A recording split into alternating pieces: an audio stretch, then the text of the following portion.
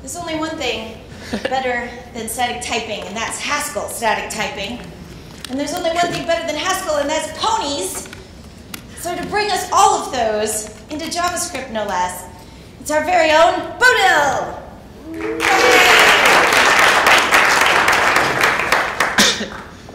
Whew, that was scary. I thought for a moment there that my code wouldn't run at all. There is one slide that still won't run, but so we'll have to sadly skip the bit about quick check, which suddenly was giving me problems. But never mind. So uh, yeah, uh, I want to talk to you today about JavaScript. Actually, uh, actually, let's not talk about JavaScript. It's, to be honest, a rubbish language. It's, I mean, literally, the, the guy who invented it has been apologizing for, for doing that since he invented it. And, well, I, I, actually, I've got a, a bullet list of things that are wrong with JavaScript that I want to share with you. It's a mess. And this leads us, of course, uh, because we are stuck with JavaScript. There is no way around having to do JavaScript development in, as long as you're dealing with the world of, of browsers and the internet, and of course we do, we live in that world. So we are stuck having to deal with JavaScript. So this leads a lot of people to invent languages that compile down to JavaScript, so you don't have to deal with JavaScript itself because it's awful. Uh, and, right, I'm checking my slides because I cut out quite a few, so I'm actually going to make this. Um, what I've been doing is I've had some experience building very large JavaScript projects, and when I say experience, I mean excruciating pain. Uh, it tends to, as long as you get past a certain size of your code base, it tends to very quickly escalate into just an intense amount of, of chaos. Um, and, and, and, that point I found is about 100 lines or so, to be perfectly fair. Um, so when I set out in, in the job that I'm currently in to build um, a fairly intricate system that would run on the browser, I certainly did not want to use JavaScript. I went for TypeScript because I figured my biggest issue with JavaScript is that, and, and the reason it gets so messy is that there is no type checking going on. So it doesn't prevent you from making silly mistakes at all. You have to always keep watching your entire code base to make sure that you don't make them. Uh, TypeScript though, I mean, it, it did actually help. It, it, plugs an optional type system into JavaScript, much like uh, core.typed does for Clojure. And it introduces certain other things, like things I don't like to talk about, like classes and uh, structure your code. It's, it's, it's an alright type system. In the end, it just feels a little too restrictive. And too, not restrictive, that's the wrong word. That's actually what you want. I mean, it's not powerful enough. And I kept feeling like, asking myself, why can't you be Haskell? Because once you've done Haskell, it's very hard to get back and, and relate to, to the less unfortunate languages and, their less unfortunate type systems. Um, and that was, so are like ways to compile Haskell in, into actual JavaScript, and, there's been quite a few attempts at building a JavaScript language that that compiles to JavaScript, sorry, a Haskell language that compiles to JavaScript. Like you got Roy, you got Haste, you got all those. Um, Atom, I should definitely mention Atom because Atom is amazing and you should try it. And we need to talk about. Um, as it happens, by the time I was in the middle of my, my struggles with TypeScript, this thing came along called PureScript, which um, I think it's, it's the language that so far has come closest to being while looking and feeling and having a, a powerful um, system like Haskell. It also stays very close to the actual JavaScript. You've got um, essentially the, all the data types in, in PureScript are very strict strictly JavaScript data types. And PureScript, while the code looks, looks almost exactly like Haskell. It will, it will compile to JavaScript that looks remarkably like the actual PureScript code. And there's no trickery or strangeness or weird things you have to do really to with with the compiled code to make it run. Like with GHCJS, which literally takes Haskell and, and compiles it to JavaScript, you get like a giant blob that looks like script pretty much. And with PureScript, you get very clean, readable code. So that was exciting. It was written by a guy called uh, Phil Freeman originally. And I tried to Google for pictures of Phil Freeman. I couldn't find any that were at least big enough for, for a good slide. So I Googled Phil Freeman cosplayer.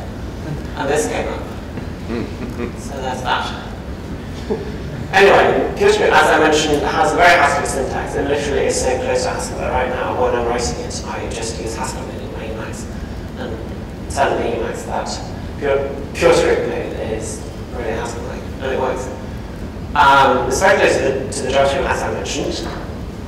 It's actually a, a pure functional language, like Haskell. And this is the, the really amazing part. So the code you write in your PureScript is has no side effects at all. Um, which of course helps you reason uh, quite a bit more efficiently about the code that you're writing. Whereas, of course, you have to deal with um, side effects in, in some way eventually. And what Haskell tends to IO as um, PureScript is using an effect mode essentially, which is sort of like uh, basically extensible effects um, and there's a foreign function interface, which essentially lets you write JavaScript inside your PureScript, and you just give it a type annotation, and the PureScript compiler will, will trust you. And combining those two together, you get um, a language that is mostly pure and feels mostly pure, and still lets you actually do things in the browser. So I'm going to stop talking and I'm going to show you instead because that is usually more exciting for people. So let's just see uh, if this still works. So one, say one, oh god. This is working a minute ago. There's something happened last night between when I actually verified that this works and okay, no it works. Okay, let's, let's hope it stays that way very exciting writing your own slides and your own editors in your slides. And so, I think I'll show you like the basics, how to do um, an algebraic data type. So, let's, let's start easy with a list. So to express a list in, in Haskell and in PureScript, a list of type A how do I do that? Uh, let's go with cons list to keep things easy. So we need um, a nil, which represents the empty list. And we need uh, cons A onto list A. Is this compliant? Yes, it hasn't broken yet. It's going to. And as you can see down here, I've just pre-written an instance of the show type class, which is essentially how you Filter how to print um, a value of, of, this type that I've just created. Because typing that out can be boring. So I can go right cons one onto nil. And that gets me a list of one and nil. Essentially one constant in nil, which means a list with only one. And if I go nil, it tells me, oh, there's an instance found for that. Can you guess why? Because I don't know the type of, of A in this case. If I go nil is um, have the type list and number, it tells me the empty list, isn't it? And I can go on, I can, this is going to get very exciting for me, so um, I can actually make of two elements. So let's implement this function. Let's do the map function for all A and B. This is where it diverges from Haskell slightly. I think mostly because um, they just haven't implemented that level of but you have to actually specify um, the type variables, whereas Haskell would just assume that if you have a, a type called list of A, then A is a type variable. Um, so the map function takes a function from A to B, and it takes a list of A and produces what? A list of B. And the smartest what it says. So, of course now I will um, implement the body of the function and this course we have pattern matching. So, an implementation of map for the empty list would be, see, will be the empty list. And of course, uh, as we don't actually care about the function f in this case, we can just replace it with underscore, which means I don't care. Um, and then for a list that actually has content, uh, that would be cons x onto xs. Actually, no. So the, the Haskell convention, the idiomatic Haskell here, will be to express cons x and xs, where x means the head and xs means the tail. Literally, an x and some more x's. I find that a bit confusing. You know, Haskell has all this weird language, um, which is probably very off-putting to people. So I'm, I'm going to go with the concept that, that I'm, uh, I see all of you are, are more familiar with. The car and the cdr. Makes a lot more sense than head and tail as a confusing term, I think. Uh, so anyway, how do I express um, mapping the function f over this then? So the car now, of course, is going to be the car of list, the, the first elements, um, if you're not that into lists. And the cdr is going to be the, the rest of the elements. And the pattern matching is going to unwrap that for us. So that will be a consing applying the function f to the car onto a list that is expressed by mapping the function f over the cdr. Is that look right? Well, it complies, so it must be. so let's take that list again. Actually, let's, let's make a function. Let's call it ink. Can you guess what that might do? and ink is going to be plus one. So of course, um, partial application applies here. So what I'm saying here is take one and add uh, a function argument to it, which I'm not expecting. I could have ink A is plus one A, or actually one plus A. But with a parentheses, I turn the uh, infix operator plus into um, a more listed way of doing it. So now I should be able to go map ink onto, actually let's, let's start out with this one. Map ink onto my list of 2 and 1.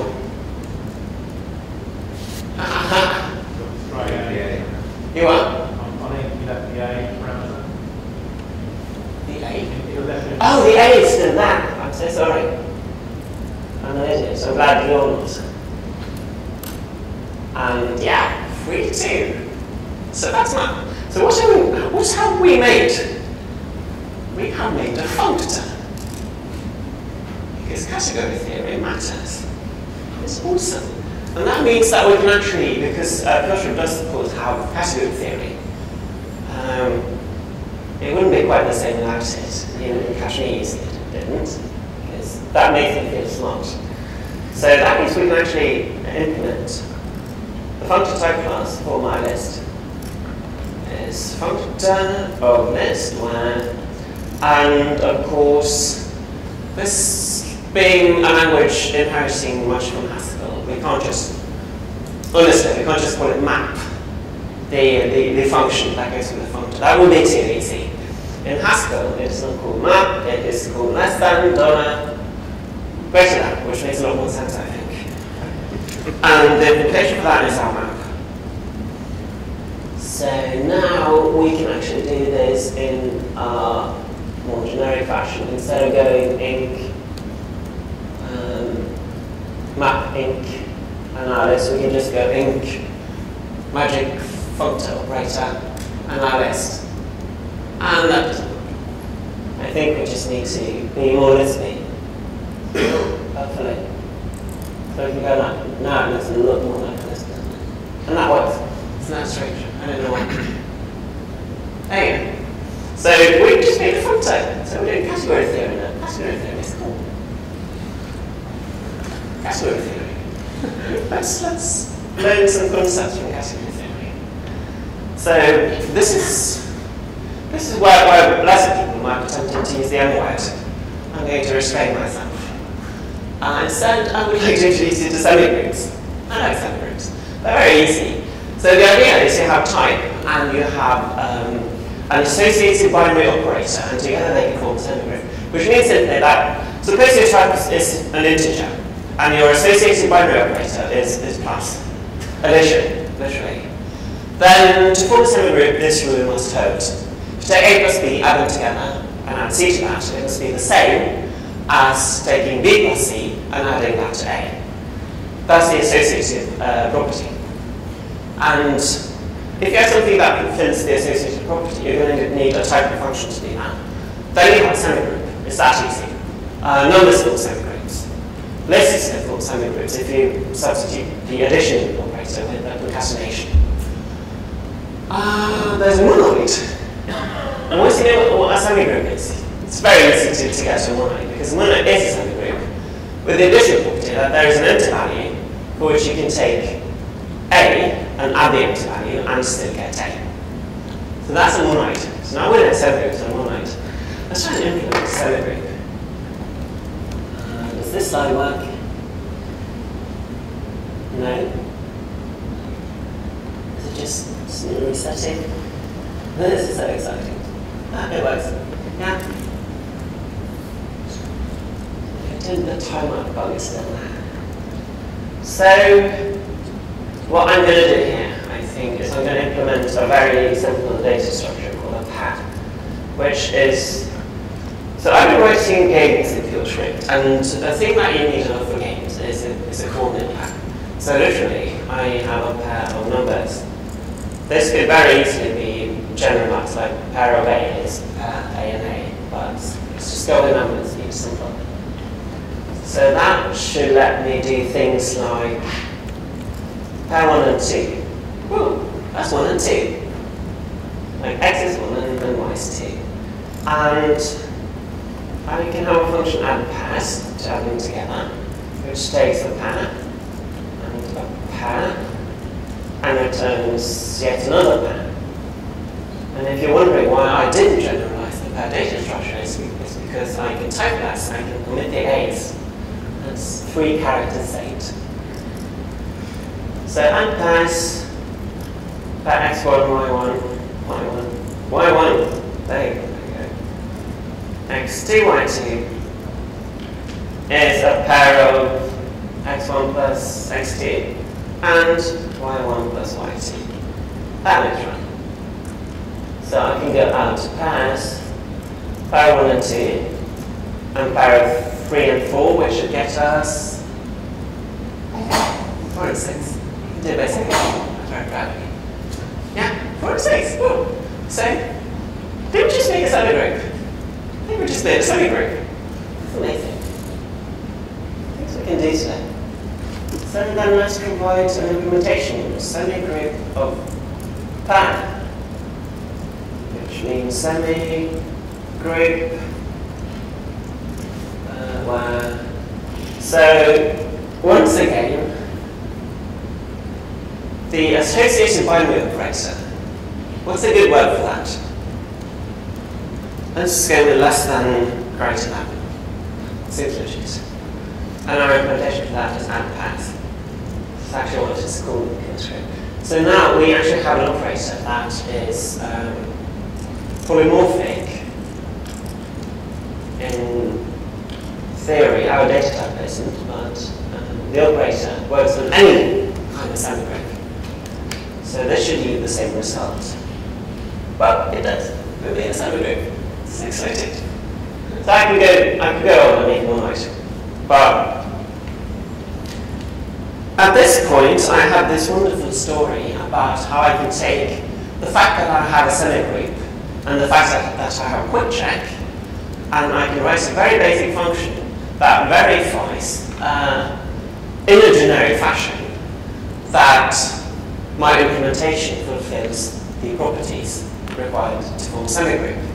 Now, unfortunately, what broke was uh, my quick check. So I had to skip that slide, but I do still want to leave you with this wonderful um, Haskell Gosling slide. I am positive that this is exactly what happened when John Hughes proposed to. so this is the slide that doesn't work. Sadly, uh, showing the code though. Because this is, so let's go through it. I'm unfortunately not going to be able to run it. So here's my implementation from the previous slide. This is my um, implement. Oh, that again. So this is my implementation of uh, equality checking for the pair, which I need to do testing, obviously. And here's the show again, and this is the arbitrary type class, which means um, this is what QuickCheck uses when it sees a function that takes a pair. It will use this type class to generate a random instance of that pattern. And here's the very first group code. You'll notice that I didn't mention pair at all in this, which is the point. Um, I mentioned it takes a type A, which is a standard group, and there's also it also has a concept of equality, and it can be printed, but the standard group is what's important. So Given that I have an, an implementation for pair, then the test would be very simply, I'd write a test like this. Very semigroup is verify semigroup. And that's it. I can use this for all my semigroup implementations to, test that they actually are semigroups. I'll show you this now, but I'm so instead I'm going to write again for you. How much time do I have? Uh, I'll make that 20 minutes. Let's see if we can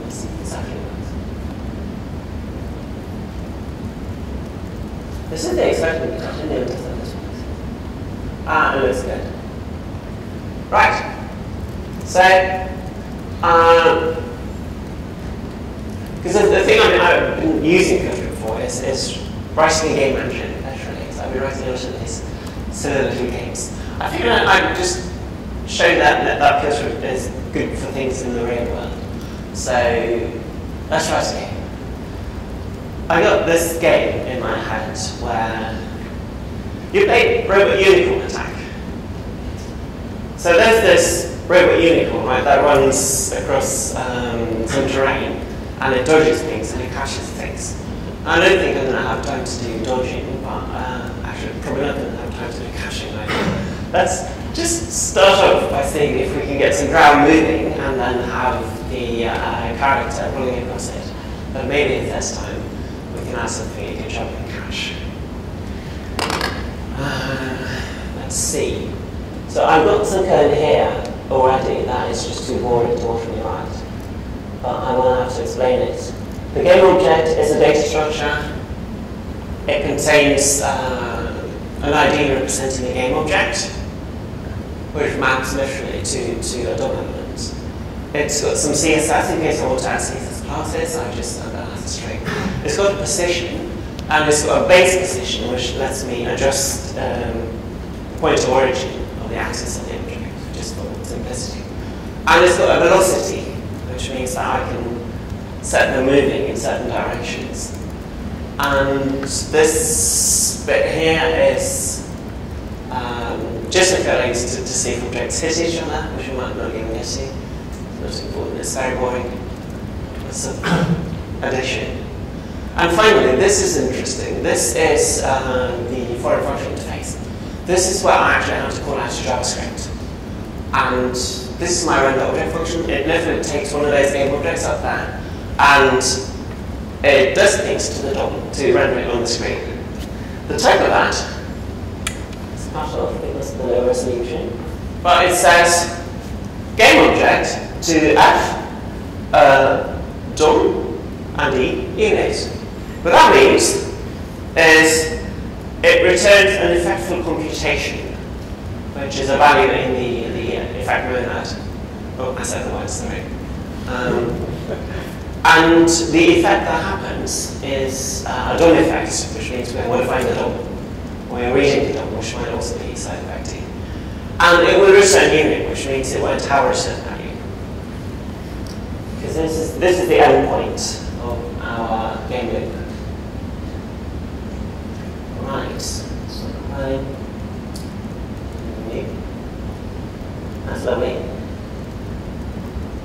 Uh, restart. This is so funny. No, it's not funny. No, it's not. It doesn't actually look. You're not making this in the fine, that's. Right, so let's start off with some. Ground,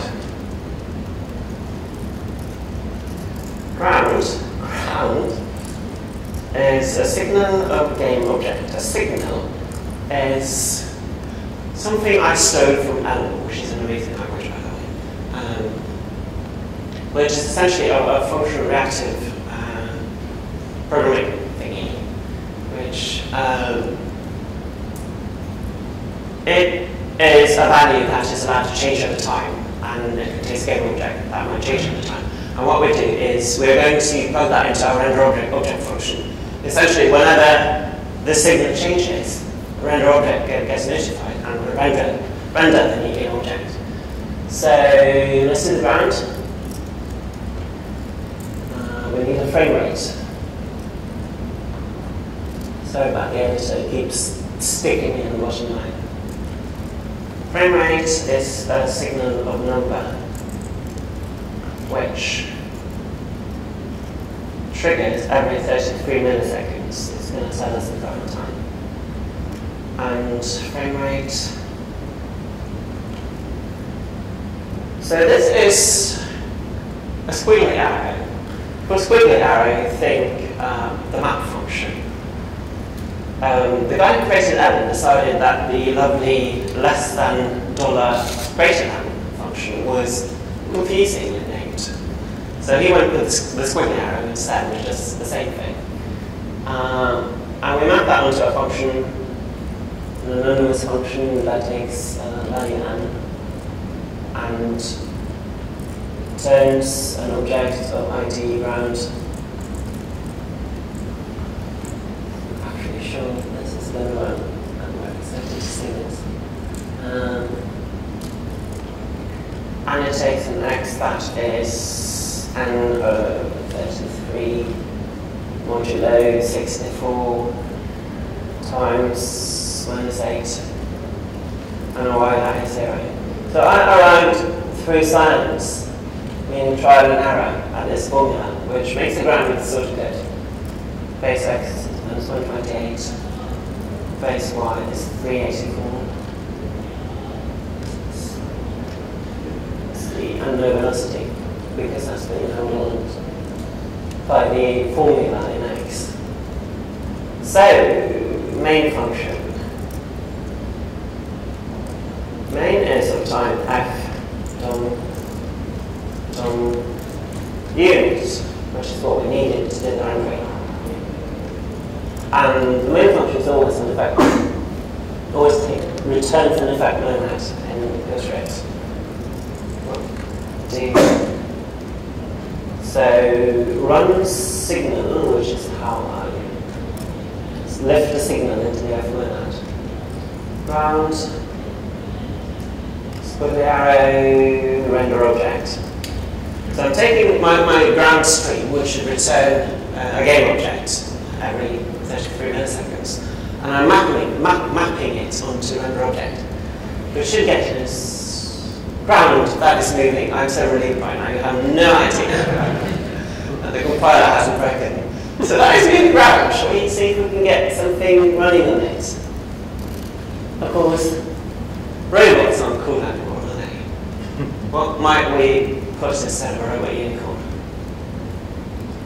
How about that, Pony? Is that okay? Anybody got a preference for a pony? Pinkie Pie. I'm so glad you said that because Pinkie Pie is the only spread I have available. right, so let's see if we can get her on the screen. So I'm going to have to make an initial Pinkie object, which is going to be ID Pinkie, obviously, and it's going to have no particular CSS at first.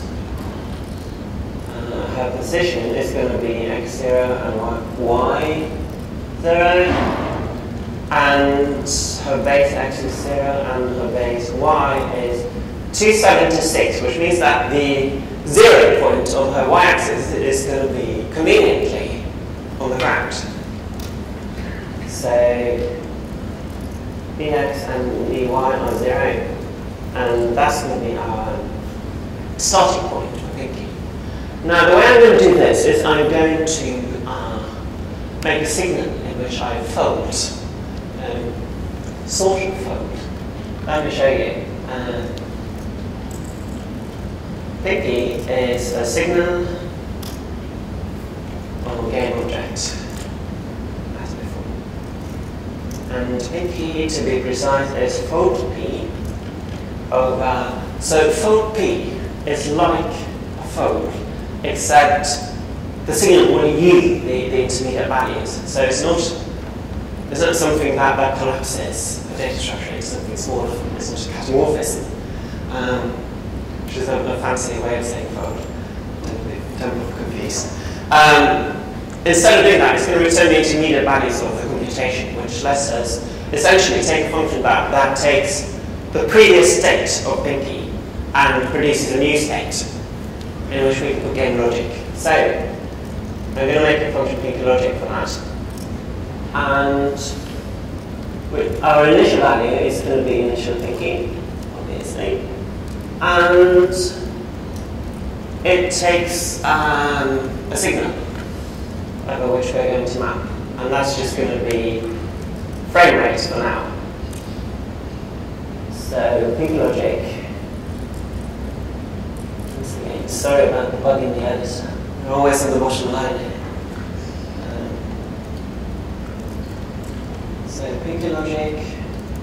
Oh wait. So Oh right, sorry, I'm looking at the wrong thing. Pinkie logic takes a game object. And it takes actually it takes the input from the string, which is a number. This is just uh, the ticking frame rate, don't worry about it. And a game object, and it returns a new game object. So this is where we can make changes. Uh, it takes n and p for Pinkie. So, literally, just return p. Because right now, we just want to see if we can get it screen. And then we'll see what we have time for, 10 minutes. Um, so let's run Pinkie. Enter our object. So that's the Pinkie stream right there. Look at that, we got a pony, We've got a pony. Great, so she's going to need to jump. Actually, let's start off by making a physics engine. We're going to need a physics engine. We've got what, 10 minutes left, that should be fine. So, velocity is a function that takes a game object and returns a game object. And so this, you, you remember the Vx and the Vy, this stuff is just going to apply there so that we move the object according to its velocity. Velocity of O is O modified as such. X is Ox plus OBX and Y is OY plus OPY. So very simple. And Pinkie logic suggests velocity is applied to Pinkie. And the gravity uh, game object to game object and how would we apply gravity? Well, because now we have velocity working on the object, we can just go Vy is current Vy plus what's gravity? 9.8 something, right? 0.98 seems just better. I, I could have just done one, but that one would have been too easy. so let us now apply gravity PK as well. So gravity and velocity. Whoops. yeah, so when she hits the ground, she's going to have to actually stop. Yeah. So let's write a function for that. This is essentially how I compose the whole game logic by writing very small composable functions on, on game objects. I think it's good. So let's make one called solid ground. Ground, which takes the game object and returns another one, as always. Solid ground of O is, I'm going to use the if statement here instead of doing uh, fancy guards and pattern matches, just ease of reading. So if the while loop is greater than zero, which means it's below ground, then return O modified such y is zero, dy is zero, essentially put it back on the ground and stop from moving downwards.